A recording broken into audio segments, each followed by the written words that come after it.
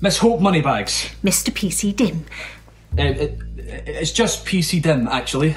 Oh, yes, of course. Sorry. Uh, Are you aware that we have a recorded confession of yours? I don't understand. On the morning of August the 27th, you said this.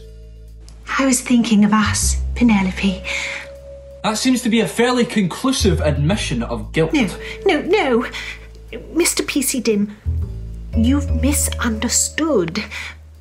I was letting Penelope know that I wasn't just thinking of her, I was thinking of us. The two of us. Together. At last. But you told Inspector Norse uh, that Sir Hoggett didn't like it and you weren't supposed to be in contact with her. Was that when you decided to kill him? No, I didn't. I wouldn't. I mean, I have thought of it, but I'd never actually do it. I had made a decision, but not to kill Hoggett. I had decided to be brave and independent. I see. It took me 25 years to build up the courage, but you have to think these things through, you know. I was going to strike out on my own. And what were you going to do? Go and live with Penelope. I've been saving up money from my allowance for the plane fare. Now, because of the will, I won't have any allowance anymore. Unless I stay single. Well, I wouldn't worry about that will too much, miss. What do you mean? Oh, eh, eh, eh, nothing, nothing, nothing, nothing. Now, I do have one last question for you, and this is very important.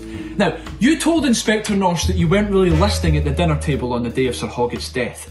Now, I need you to think long and hard about the argument between Chimera and Jaunty. Try and remember. What were they arguing about? Oh, yes, of course. I told you there was something fishy about her. Well, I'm not sure. Oh, had asked what they were doing after the wedding, and Chimera said that they hadn't decided yet. Uh, and then she pointed out of the window and said something like, um, but what could be more beautiful than here? You, you know the way she does. Um, and then Jonty got very cross and he said, Oh, yes, he said, she could stay here if she wanted to, but she needn't think that he was going to settle down with a load of old codgers. I think perhaps he meant me. Anyway, that was it. Well, thank you, Miss Moneybags. That was very helpful.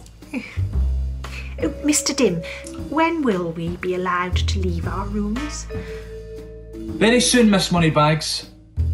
Very soon indeed.